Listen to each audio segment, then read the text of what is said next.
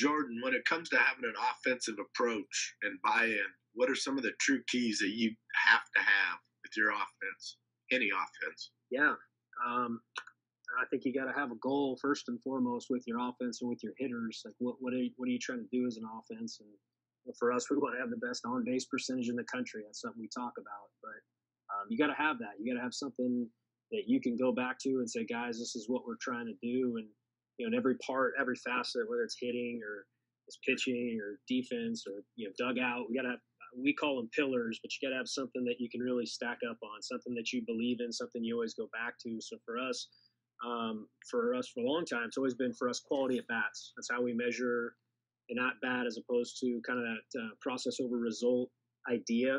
We're going to track quality at bats. We're going to make sure we track them.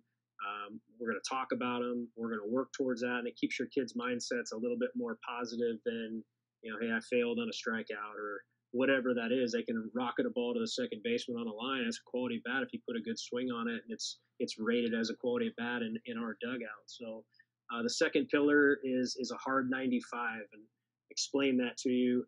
Um, we all know 90s, and, and we all talk about that. I guess a couple years back, we got tired of saying run hard through the base and stop stop stopping short of the base, and so we just said, you know what, we're going to go 95, and it, it, was more for a drill, and all of a sudden it kind of took root and stuck, and we just started calling them hard 95s, and so we make sure our guys run hard through the base, and really it's just a it's just a block for everything we're trying to do in our offense. It's not just about running from home to first hard. It's jogging on the field in between batting practice from station to station. It's um, you know on and off the field and how that can affect your offense.